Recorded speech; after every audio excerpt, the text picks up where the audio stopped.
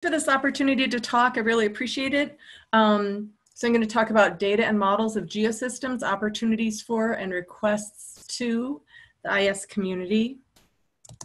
Um, first, I just thought I'd go over a little bit, go back to the 2015 workshop um, report and just, just mention essentially um, what were listed there as geoscience challenges um, re um, requiring innovations in intelligent systems.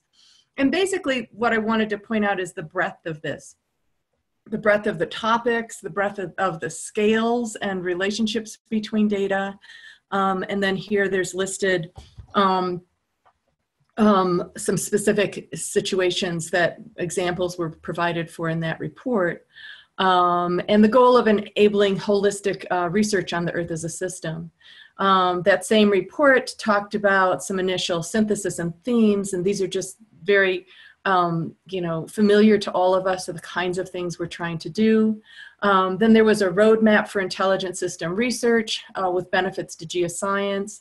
Um, again, some, some really great um, uh, IS capabilities and the whole idea of trying to bring those into geoscience um, is incredibly exciting.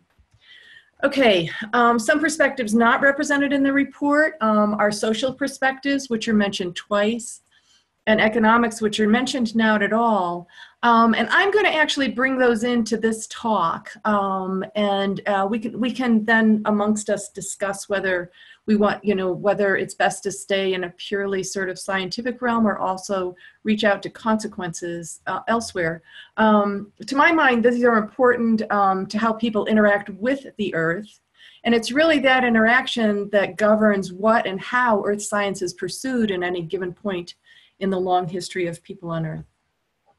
Um, um, and here we consider um, data models of geosystems, opportunities for and requests for the IS uh, community. Again, that's just the title of this talk. Um, and I'm going to look at a problem with explicit consideration of social and economic aspects.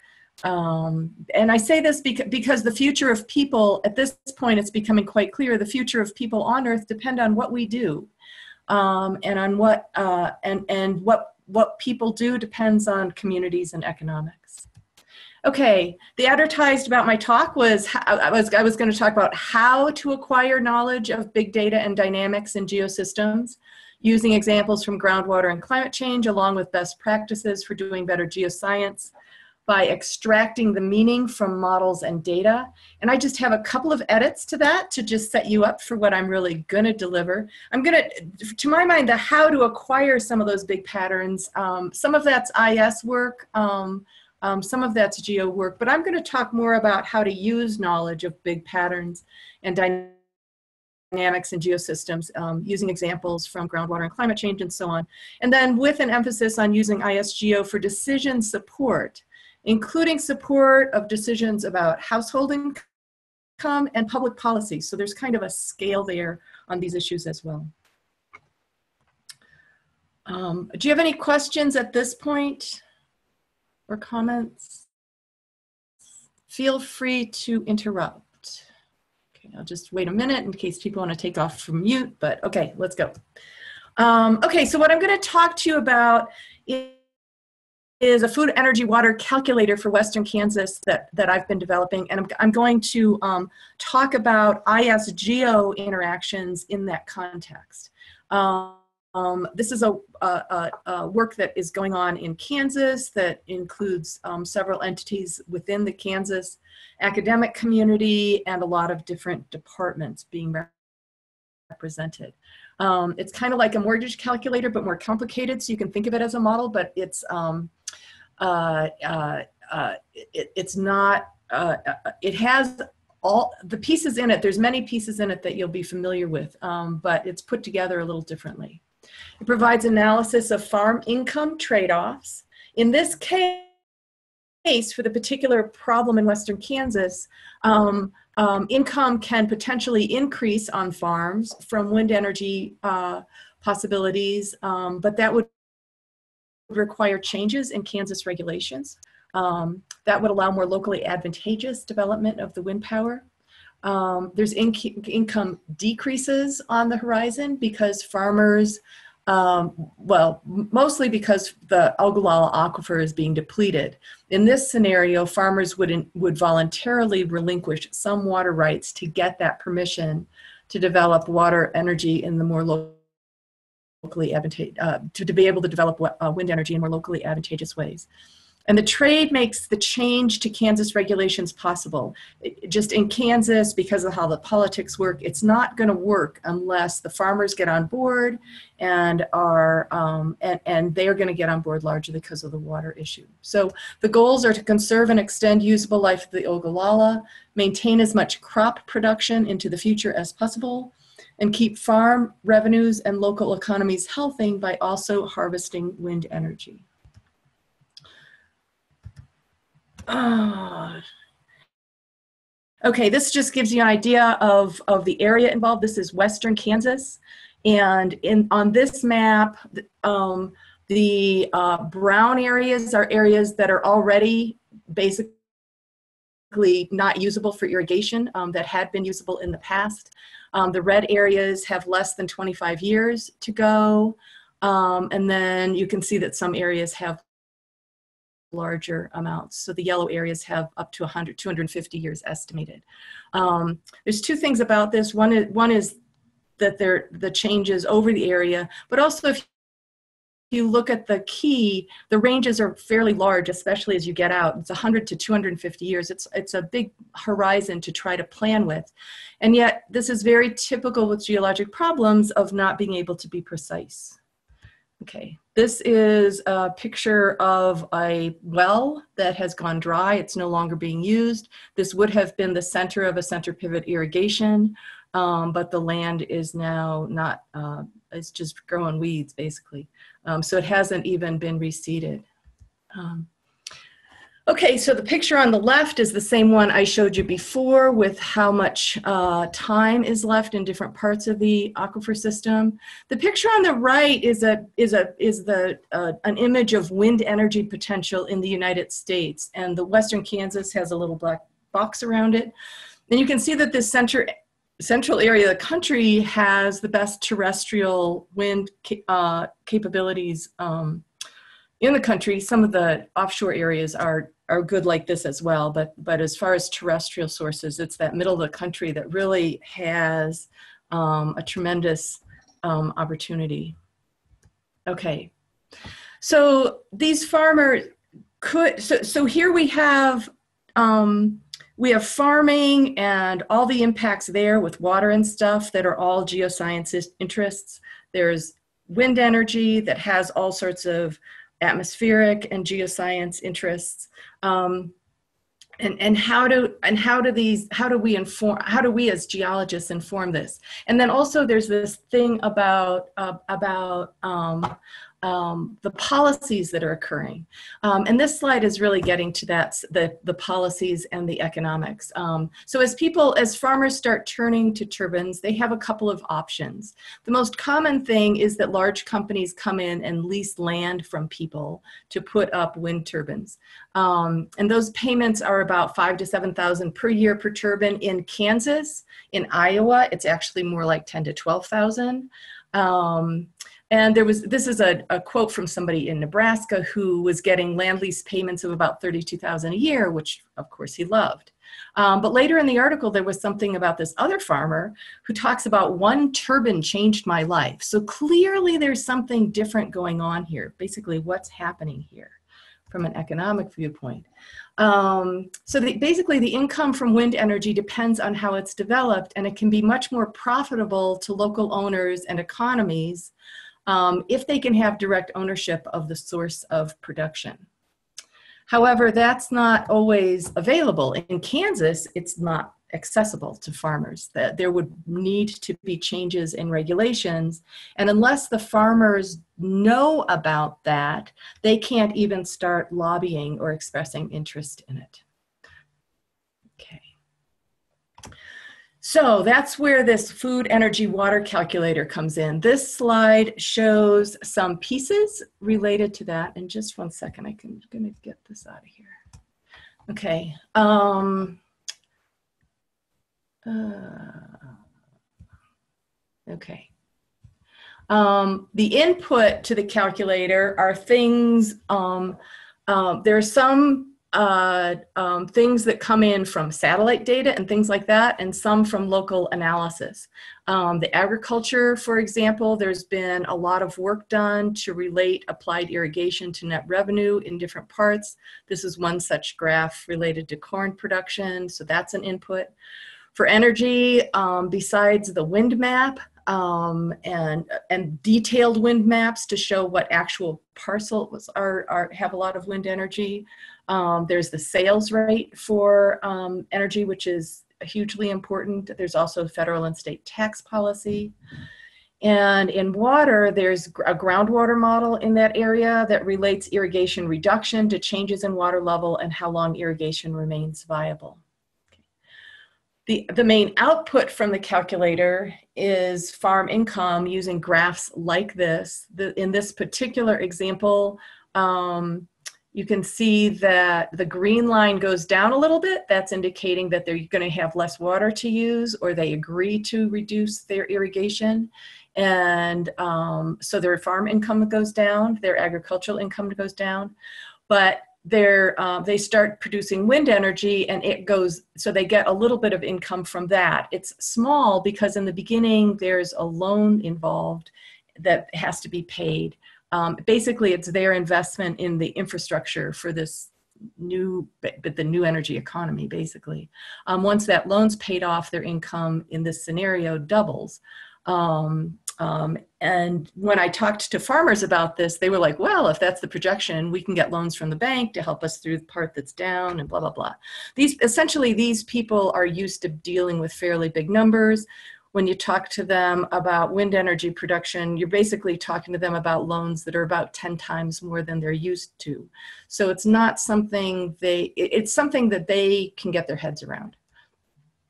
Okay, so this is this is the calculator. Okay, so now we're starting to get into IS, which is a very rudimentary level here. Okay, it's Excel.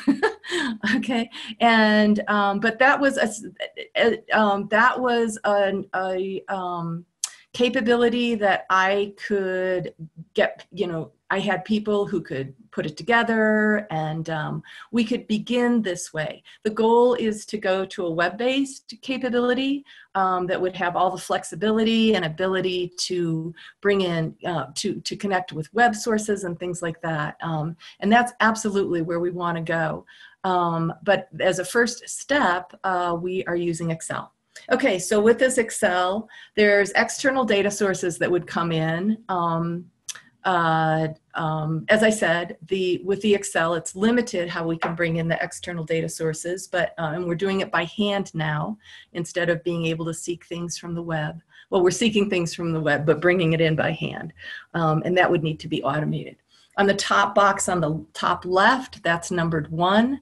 The user inputs where they're located. Um, um, um, and then they would go to columns two and three where they choose their activity and choose options and data. There's a row for agriculture, energy, water, um, weather and climate, um, and um, uh, environmental services. Um, although it's interesting, sort of the, the biggest environmental service is wa- services are water and weather and climate. But um, that so that what ends up in environmental services ends up being things like um, um, um prairie chicken issues and issues related to to wildlife, largely. Okay, um, and um, so each, uh, and then the column four on the far side would be um, the calculated results that would then go into the calcul the the graph at the top, number five, that would um, uh, um, um, that would show the income consequences of the scenario outlined. Um, okay, uh, and then one example of that graph is shown on the on the right. So that's what they'd be most interested in. Okay, um, this is just a very simple view of what this workflow would look like um, for you to connect to some of the ISGeo. I wanted some of the information systems, I wanted to show you a more detailed version. So, um, for example, um, um, the for under energy production, we can there could be automatically downloaded um, um, uh, maps related to wind energy, or or if they were choosing solar energy. Um, and there's downloads related to um, uh, uh, groundwater and results from either groundwater data analysis or modeling. Um, and then there are downloads related to um, climate, uh, the climate situation and possible climate change for this for the time period involved. Um, okay, so and then also for environmental services. Okay. So I think it's pretty easy to see how this could, you know, this isn't a decision, um, a decision-making framework, and you can, I think, see pretty easily how the geoscience data comes into it. Okay. So one question. Please. Um, how how long does it uh, usually take users to to input all the data to get uh, the calculator going? Um, right, so right now, so this is a prototype and um and um uh so we don't have really users yet in a sense we have taken the we've customized the things we've put in have been related to southwest kansas the example that we've chosen here um, and we have talked about it with farmers um, and shown them the kinds of things that we can do. So, so right now it doesn't take much time because it's pretty hardwired. There's uh, specific things that people can can work with. Um, as mm-hmm. so we'll have and as part of the proposal that we have in on this, we have sociologists involved who uh, who would um, do experiments to see how things are working and work with us to make that better. Um, so, and clearly data download is a problem. Uh, right now, um, it's set up just even in Excel. So if you click on the maps on the left, it'll pop up a big version. But when we did that connected to the web and had it download, it was taking too long. So we've loaded it into Excel directly. Um, so it pops up really fast. Um, so, so those are, um, the idea is that it has to be structured in a way that it would work fast and it would work fairly easily. So, but that, but that means it's more limited in terms of um, specifics. Um, but the other thing is we're really, we're working with a population that is just starting to understand that they have alternatives in terms of how the wind energy is developed. Um, so even getting them the basic idea that um, uh, that a little bit of knowledge um, can um, result in a pretty different future for both them and the region involved. Um, that's essentially enough of a me- of a message. Did that answer your question enough? Yeah, yeah, thank you. Yeah. I have uh, a quick follow-up question, but I guess that's probably uh, how close to the end of the presentation are you? Uh, I oh, how much time do I have? Ten minutes. Yeah, I should be fine. Okay, because mine is more of a summary uh, question on are you submitting to US uh, anything here to USDA's um, uh, current AFRI foundational grant this this cycle?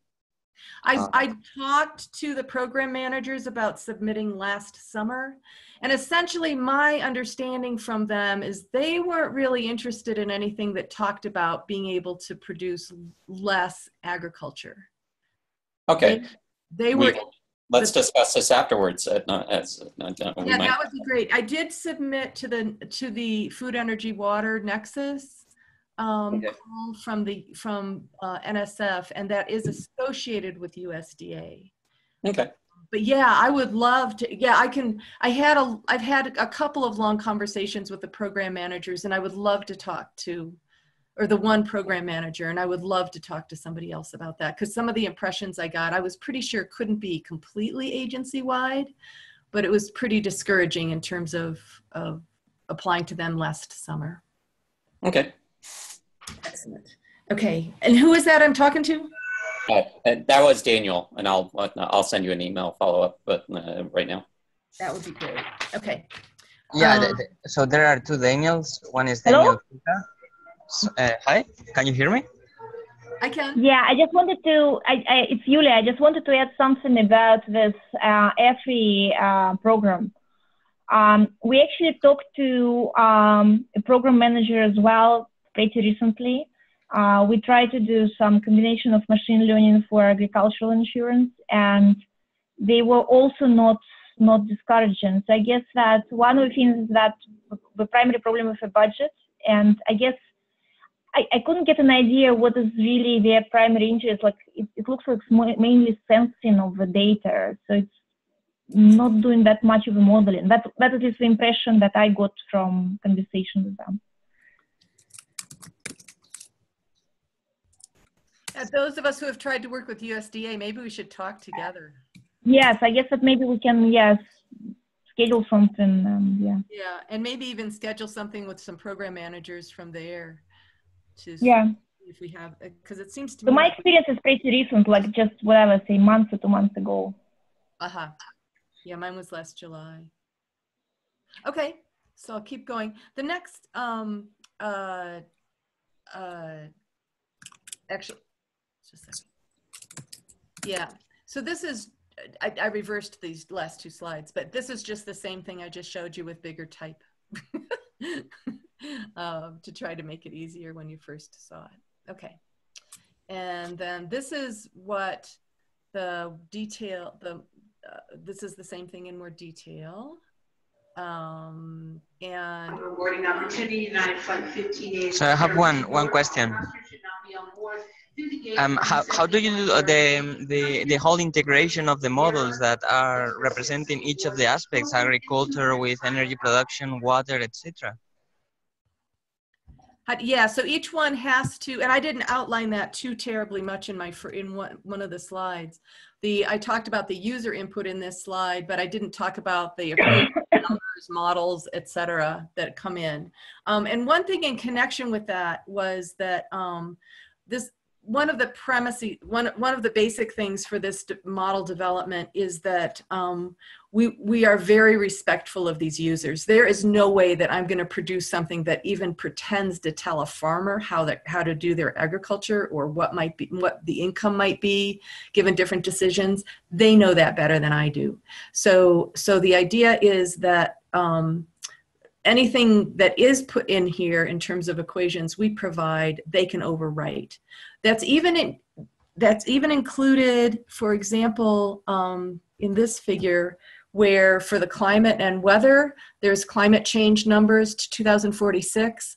Hopefully there would be a way to go out and capture those numbers for this region to put into this table. Um, I think that's something we would have to work with the climate change folks to be able to, to, to do, uh, perhaps. Um, but anyway, so let's say this, the, the, the, the, that, um, this program goes out and gets those numbers. And let's say the farmer is irritated by that, thinking, I don't believe these scientists on this anyway. This, would allow them to go and change those numbers, okay? And it, which makes them do two things. One is it makes them look to see what the predictions are. They have to at least notice them, okay? And the other is they'll notice if it makes much difference to their income. Um, and and to my mind, I would rather have that kind of thing where I'm empowering the user than trying to shove something down their throats. So um, um, okay, and most of the other um, But I get that my, my question was a little bit more um, about, okay, what, what if I want to change my model for energy production? How do I make sure that it's going to fit uh, well with the previous agriculture model, right? The uh, so uh, uh, did, did- with the previous agriculture, so that uh, in what what interactions particularly are you interested in between energy and agriculture when you think about that? Um, I don't know. I, I, um, I, I don't know, but I, um, I guess that there are more than than one agricultural model, right? There, there may be many, depending.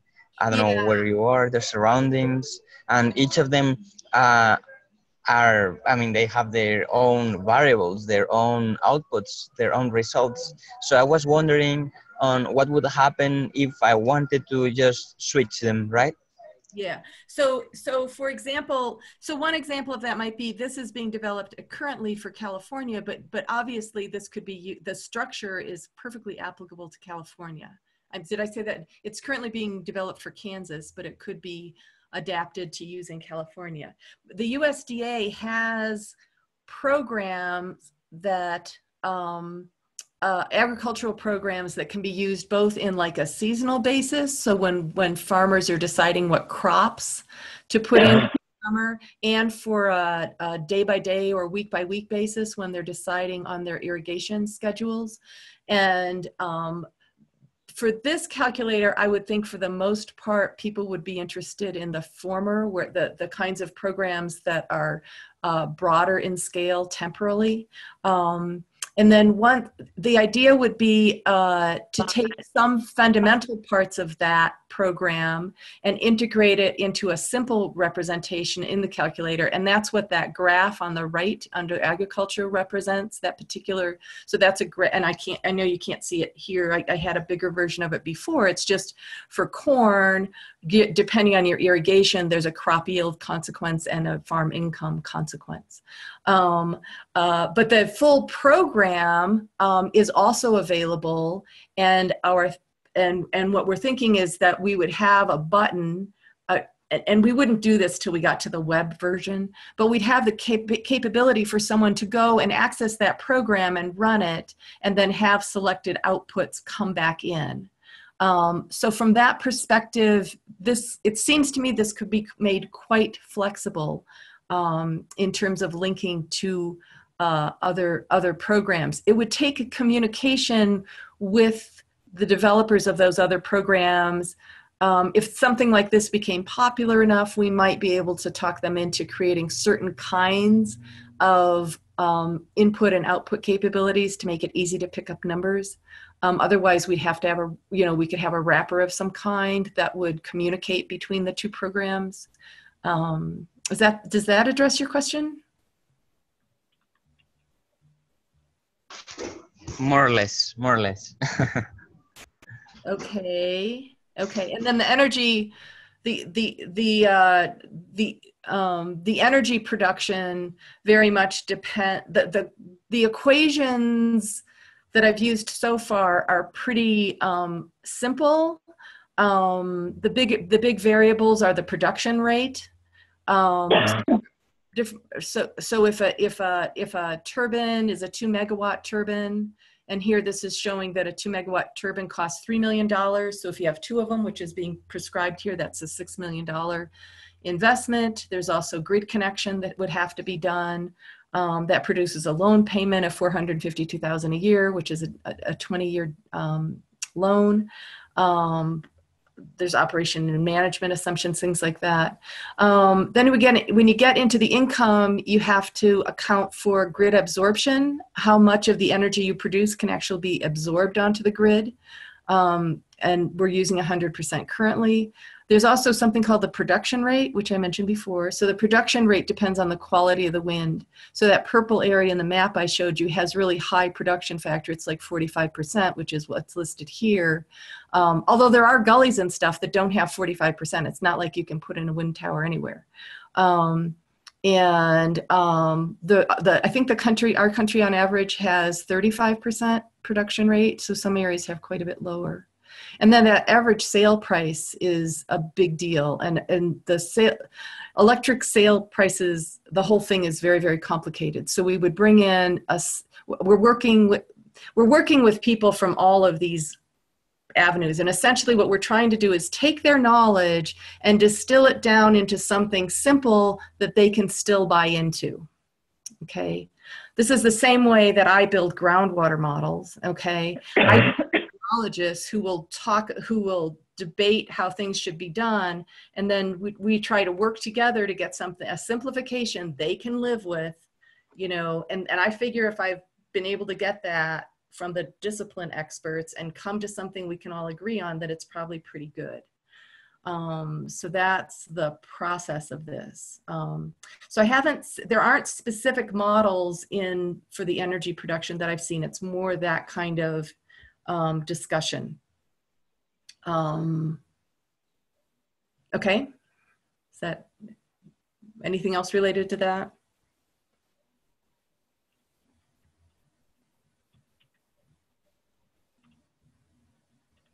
Okay. So I will, I'll go ahead on, on because I think I'm now late. Um, so these were, I was just showing some things in detail. You can kind of see in bigger print some of the things that I've just spoken about. Um, and this is the output that I showed you before. If you looked quickly, you could have seen that there was another graph that showed that they would double their income during the loan period and triple it afterwards. And that's for if the price of electricity goes from 3.85 cents to 4.77 cents on average a kilowatt hour. Okay, so so what's the so what's the utility to IS-GEO? Um, uh, general awareness of how earth science is used in decision-making tools. Um, so basically, how earth science, how in this manner at least, earth science impacts people. Um, to my mind, and I and I talked with uh, Ibrahim yesterday, and um, um, it seemed like there might be a potential for a benchmark, partly either in this, either using this framework, this model, um, because the relations are quite simple. A lot of them are. The, the, there's a lot of relations, but the, each of them is quite simple. We're not into complex models at this point. Um, uh, Ibrahim uh, talked about that his um, rainfall runoff modeling example, that he's also doing a decision making process related to that. Um, he talked about the that the model is so big and the scenarios are few and that it was a little bit more difficult to work with.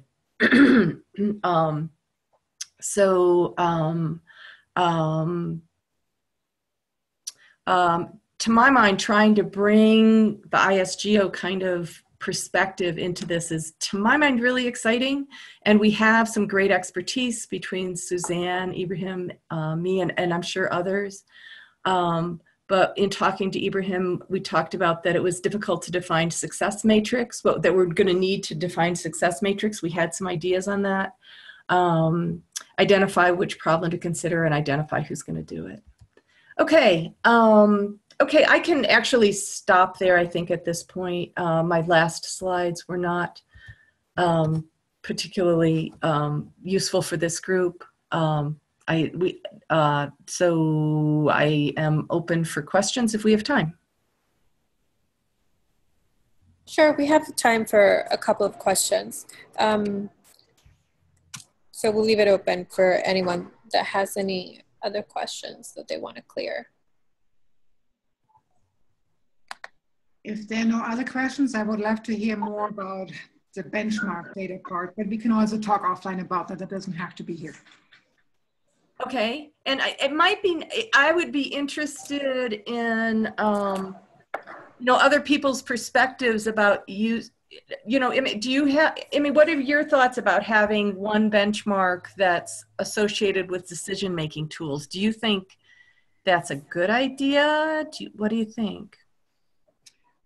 I, there's nothing wrong with having it. I mean, decision making is another machine learning task, so that makes yes. sense. The trouble is always, as you always said, the success metrics, and we always struggled with that with the methane thing. It's always hard to define those, and it's you have to have a certain sample size for people to to see, and and some correct results that you obtain through some other means. But we could also make it more open, and we can talk more one on one if you want to. Okay, that sounds that sounds great.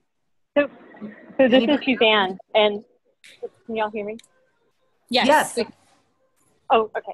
So um, one of the things that I think would be really interesting from the benchmark perspective would be to uh, cast a net for a set of data that, or simulations or um, dynamic. But when I say dynamic models, I don't mean dynamic in the optimization sense. I mean just like interactive, um, more like systems dynamics models. But looking at uh, robustness and resilience, right? So how do you define a robust solution and how can various algorithmic or um, IS approaches help scientists understand their data and information in the context of robustness. So that goes in the decision-making context everywhere from how do you select a representative decision variable all the way through. How do you understand what the what your performance metric really means?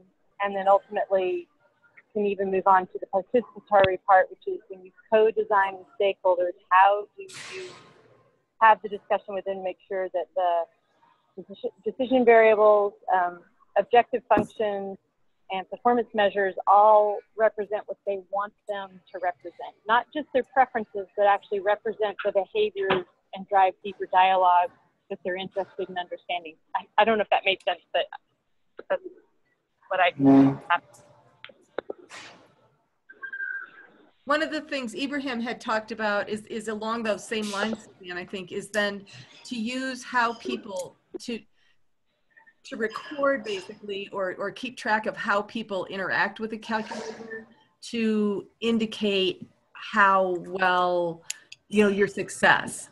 So if they if it's so confusing to them that they don't do anything with it then they clearly you're not getting where you want. If you're seeing them you know look up different alternatives and and and play getting getting results under different circumstances then clearly that's a success.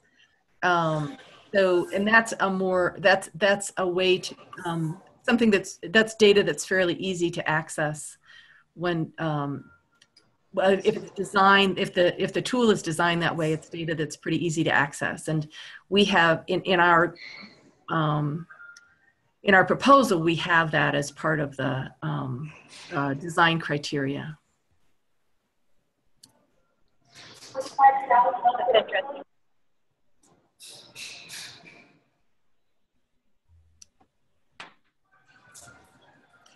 um, it was interesting talking to Ibrahim because he's, he's just talked about that he's put together decision support stuff with nice IS capabilities.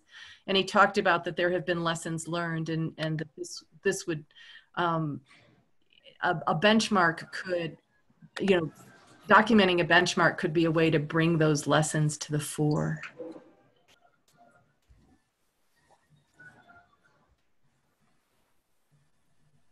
How about you, Ibrahim, and I set up sometime a meeting?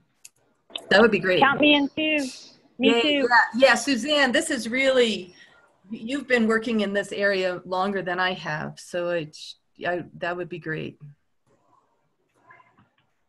I think Yulia could contribute a whole lot. I don't know if Yulia is still on the call, but it would be uh, her risk and insurance analyses and the sophistication. Yeah, I'm still on the phone. Yes. Yes, yeah, I am. I'd love to have you in that. Yeah. Um, well, yeah, it's. I think that um, um, that, that's there are a number of uh, directions here, and um, I guess uh, one, as I said, but we can explore um, relationship to agricultural insurance, um, and particularly because of the uh, data available. And the other, uh, the other place that that we can potentially approach is um, Verisk, that's a company that collects data um, different insurance companies um, and aggregates that uh, on a county level. They sell this data, but they're also, from what I know from my collaborators from NOAA, they are also interested to um, collaborate with um, academia on how this data could be used. And I think this um, the current talk about, you know, how IS-GEO can move forward is that actually maybe we can invite somebody from Verisk and show what we are doing and um, uh, how we can combine uh, our atmospheric data with uh, the insurance data. I know that sometimes if they have a joint projects, they allow to use their data for free, and that's like a wealth of information about um, insurance claims. Uh, in, in it's in the county level, but it's still better than than nothing. Uh, that's for um, house house insurances for whole United States over the last whatever I think 30 or 40 years. That, that would be great. One of the big things here has been that crop insurance, up until recently, crop insurance has required full irrigation. So that if they didn't irrigate as much as fully, if they tried to cut back mm-hmm. on their water, they wouldn't be covered as much by insurance. And that has changed over the last couple of years. So that's just one example of how it's impacted. Yeah, that's um, we tried, uh, so what we uh, um, so far what we have done in terms of crop insurance, so we looked at crop yields at uh, different parts um, uh, of northern United States and then southern uh, provinces in Canada. And um, we try to run the cluster analysis uh, on crop yields and optimal crop mix um, and trying to understand where you can run something like um, you know Bayesian belief net, for example, to, to better understand um, the relationship between atmospheric variables and um, type of crop yields and um, how you can optimize uh, multiple crops together. We, I mean, that, that, that was really a very, very pilot project, but uh, I'll be interested, I mean, I'll, I'll be interested to collaborate and I have the data collected. I had students who collected a bunch of information and um, we can actually compare that in terms of US and Canada and then availability, like if you also, you can use different type of initializations um, in this model. So you can take in situ data or you can take uh, data coming from, for example, environment in Canada, you have a completely different result. So uncertainty quantification is a, um, is, is, is critical for that. Uh, yeah, the, the crop the, the, the, the crop model from, from that has been funded from from USDA through the Extension Service in Kansas has optimization in there. So people, someone using it can say they want to deal with four different crops. These are the options. This is their acreage this is their water situation this is how much they want to spend on fertilizer. And then they mm-hmm. they and then it'll optimize across that and say how much per acre they can make. Um, that's how they normalize it. Yeah but uh, that, that's right. But uh, from i mean from also what I uh, learned from uh, um, from actuarial perspective, and although I'm not an actuary, but uh, in um, agricultural insurance, we are trying to move toward what is called index-based insurance. What's it? What's the word? So, based? index, index-based, okay. index. Yeah. So the idea of that is the following. So instead of looking at a particular um, farm um, and understanding what is their crop yield is, they're developing an index based on uh, purely on atmospheric variables. Right. And um, then for essentially for the whole area, for example, I, I'm, I'm just making up, but something like almost like cooling degree days or heating degree days. So if the index is changing more than certain number of units, then the whole area that is affected will have a payout. Okay. Yeah. And that, that makes sense. It's like a drought area or something like that. It's that's, a, that's right. I mean, so there are issues. Of, yeah, there are issues, of course, in doing that. I mean, the, the, the pluses is that you actually just rely, it's completely objective because you only rely on atmospheric data. Um, so there is no, um, you know, you don't need to, to, exactly, you don't need to hire assessors, you don't need to work with people like whether it's a true claim or it's a false claim and so on. So that insurance company minimizes uh, uh, their costs. Uh, on the other hand, there is a problem of what is called basis risk in insurance. So basis risk is something that when, um, because, the, you know, it's spatially aggregated, so there might be a situation that somebody um, who is supposed to get a payout didn't get a payout because, for example, his farming agency had elevation lower than you know than everybody else in this area or right. somebody who didn't supposed to get um, wasn't supposed to get a payout we got it because you know the, the elevation was high and so on so because so how you handle spatial um, resolution is very important and so you have data on very many different scales. And so here's where how you can actually use any of the machine learning techniques to improve it. So there's Right. this this is a bit different than what my understanding what currently USDA funded, but there is a lot of interest in SOA, Society of Actuaries, on how they can minimize their basis risk by using more sophisticated machine learning methods to improve uh, their index-based insurance. Right, right. Yeah, it's a very different perspective. I'm gonna, I think there's a slide. Oop, I'm not going. I don't know, my. And I'll be, I have a collection of papers and all this, and I'll be, I mean, we might actually have a, like a separate group of, you know, people who are trying to do something on, on related to It might be, so that, one of the, for this thing that I'm developing, one of the, one, the, the real premise is that people need to understand what's going on around them and what their options are. And it's only by that that you then get the pressure to change how we do things, essentially. Um, so that's how you change legislation. Um, and in this case, it's um, um, trying to just I mean, give people the science, but in a wrapped in a way that's of interest to them. So that's why it's economic, you know, and that, Mhm. um, um, and there, all these people are impacted by, you know, their own agricultural insurance policies.